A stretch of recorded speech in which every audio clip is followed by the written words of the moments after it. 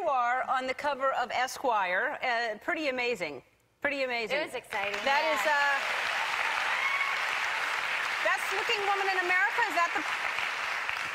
And now, and, and also uh, London Fog. You're also spokesperson for that as well. yeah.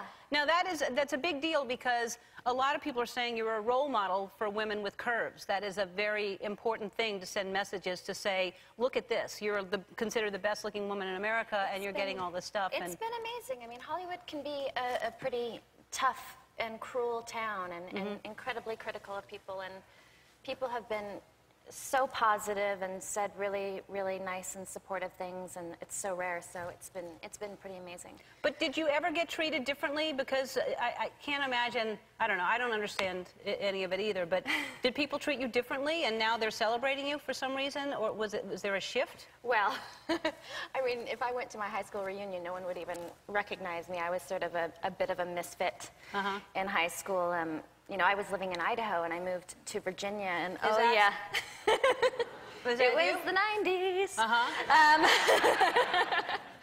yep, that that's me. But you, what you can't see is that it's shaved up the back there Oh, really? in a wonderful fashion. Where did you go to school? Um, Fairfax, Virginia. Uh-huh. And it was, you know, it was pretty intense. And it, if you were different, and, and, you know, I just moved from Idaho, and I was very naive, and all the girls were so sophisticated. They carried purses. Uh-huh. You know, I was Right. like, I still got my backpack, you know, I'm from Idaho. Right. And, um, which was fabulous. And I was just very intimidated, and I, and um, I, I sort of tried to set myself apart, and, and um, it resulted in multicolored hair.